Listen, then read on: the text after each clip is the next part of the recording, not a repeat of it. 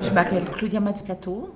Euh, je suis une zozette. Il y a un zozet aussi qui va intervenir. Enfin, c'est un zozet parisien. Moi, je suis une zozette italienne, donc de Gruyère. Et puis, je travaille euh, à Lausanne euh, comme médecin en soins palliatifs. Voilà. Mon job, c'est d'accompagner les gens. C'est ce qu'on appelle les soins de support. Les soins de support, c'est l'accompagnement, voilà, dans les maladies graves et notamment le cancer.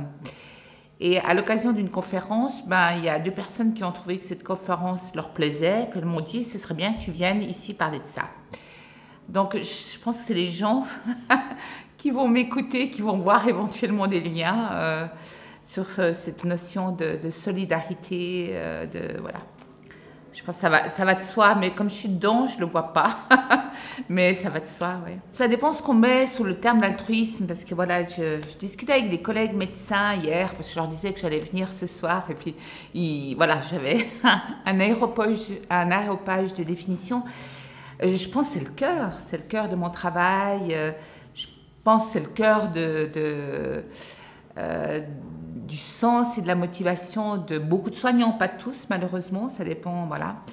Euh, donc c'est vrai qu'on n'y réfléchit pas trop parce qu'on est plus dans l'action euh, euh, et que en fait il se réalise, il se réalise en nous et si on y réfléchit, c'est peut-être après coup, après avoir vécu une situation particulière. Par exemple, dans les soins palliatifs, euh, on, accompagne quand même beaucoup, beaucoup de gens qui sont en train de mourir, qui sont morts. On, voit les proches. Moi, je vois beaucoup de proches après aussi. Et euh, ça tisse des liens très, très particuliers. Et on, peut les relier à la- à l'altruisme en fonction de la définition qu'on leur donne. Euh, mais en tout cas, je pense qu'il y a ce mouvement euh, essentiel qui est qu'on est, euh, on, est en connexion avec les autres, voilà. C'est pas qu'on fait quelque chose pour les autres, parce que je, c'est ce que je dirais dans ma conférence.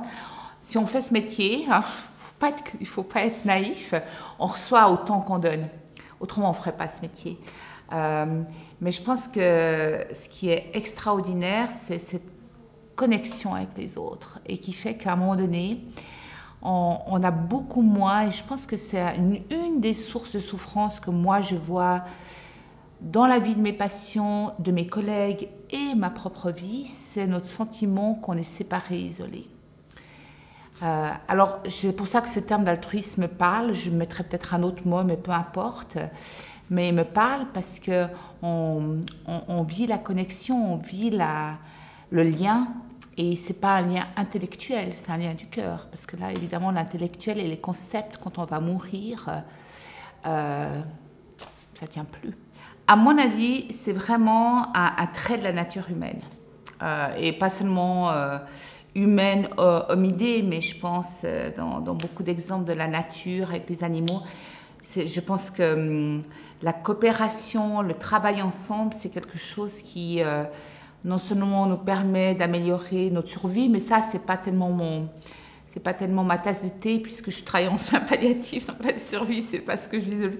Mais le bonheur, enfin le, sentiment d'être protégé, le sentiment d'être aimé. Et euh, c'est, hum, alors après, c'est vrai que hum, on est, on est les gens qui vont peut-être s'orienter vers des professions sociales, euh, que ce soit les soins, l'enseignement. euh, probablement qu'ils ont déjà du fait de leur conditionnement familial euh, ou autre, génétique, j'en sais rien, une tendance, mais ça existe chez nous tous. Et c'est quand on, on l'expérimente qu'on sent à quel point ça nous fait du bien. Moi, je, je veux dire, quand je dis, j'ai j'ai plein de gens qui me disent, surtout les politiciens, ah, Madame Matsukato, magnifique, vos sacrifices. ça me fait rigoler parce que j'en tire énormément de bénéfices. Je veux dire, j'ai des consultations, j'ai l'impression que les patients m'offrent beaucoup plus de bonheur que moi je leur offre, quoi.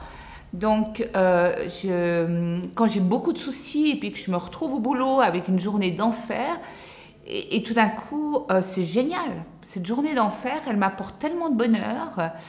Puis quand je rentre le soir, euh, Euh, d'abord, je relativise beaucoup parce que je trouve qu'il y a quand même des gens qui ont des histoires karmiques assez rudes. Et puis, il, me donne, j'aime pas ce terme de leçon, mais une forme d'apprentissage. Il, il, me permet de relativiser aussi mes propres difficultés, mais surtout quand je suis pas centrée sur ma petite personne qui a ses problèmes, ses soucis, etc. Euh, je suis beaucoup plus, voilà, je suis beaucoup plus relax. Donc, donc euh, il m'apporte énormément. Donc c'est pas c'est pas euh,